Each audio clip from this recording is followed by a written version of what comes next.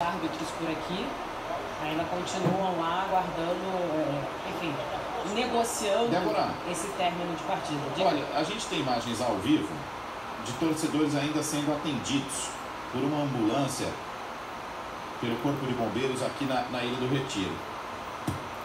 E aí, para mim, pouco importa, ou menos importa, menos importa, olha a quantidade de ambulância e torcedores sendo atendidos. Quer dizer, a atmosfera para a bola rolar, jogo de futebol mínima, né, maestro? É muito distante da, do que a gente imagina ser razoável para para a disputa de três pontos. É, não é somente né, a questão da, da polícia militar garantir, né? você também vê em relação aos próprios torcedores, e esses mesmos que estão ali sendo atendidos pelo pessoal das ambulâncias.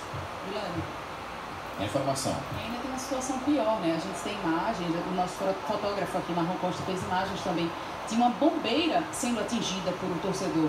Torcedor que saiu da arquibancada, desceu aqui e chutou uma bombeira. Uma mulher que estava aqui para poder ajudar as pessoas que viessem a passar mal, ela simplesmente também foi atingida sem haver qualquer motivo. A torcida do esporte já vai deixando a Ilha do Retiro por, agora, por aqui justamente para evitar mais confusão lá fora, né? Tem helicóptero aqui também já fazendo a manutenção para que não haja confusão do lado de fora, mas é justamente essa questão, muita gente sendo atendida, muita gente que estava aqui para trabalhar, assim como poderia ter sido eu ou a Débora, muita gente foi atingida por isso.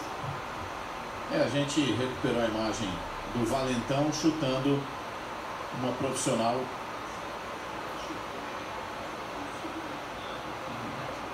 é, é, tudo muito, muito, muito triste, muito distante né, do, do universo do, do futebol, da, de uma disputa esportiva, de uma festa popular. A principal bandeira cultural do nosso país é,